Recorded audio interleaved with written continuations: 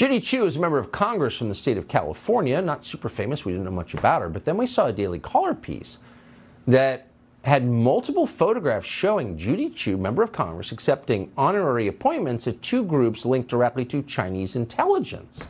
That's a huge problem. So this weekend, Congressman Lance Gooden of Texas suggested that maybe Judy Chu shouldn't have a security clearance. Maybe she should explain what she was doing with Chinese intelligence. That's not crazy.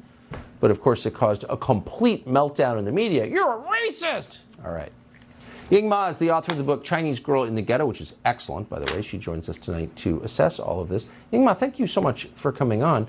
So, I don't really know what this has Thank to do with Tom. race, but I can't help notice that when the pandemic first started, the Chinese government accused anybody who thought maybe it came from the Wuhan lab of racism. So, I'm seeing kind of a playbook here.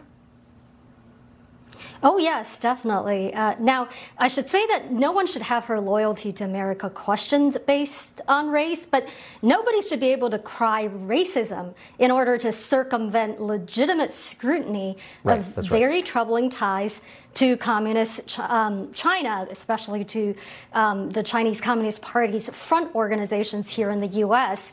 Now, Judy Chu has a habit of crying racism, not only regarding her own affiliations with these very disturbing groups, but also to thwart legitimate um, inquiry from Congress as well as efforts to counter the Chinese threat. She's tried to, she in fact successfully stopped a Democratic colleague from uh, joining a Republican effort to condemn China's role in spreading COVID at the er, in the early days of the pandemic, and she also opposed the recent creation of that very bipartisan Select Committee on China for the purpose of countering the Chinese threat um, from the Communist Party in China. So this kind of politics is poisonous. Um, my organization, the American Ideals PAC, we were formed precisely to counter this type of politics. If you guys agree with that, find us, support us at AmericanIdealsPAC.com, AmericanIdealsPAC.com.